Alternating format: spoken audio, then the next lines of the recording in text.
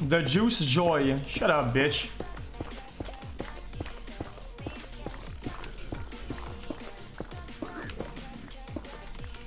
Should ask your mom about the juice, man. She knows a whole lot about it. She had a mouthful of juice last night.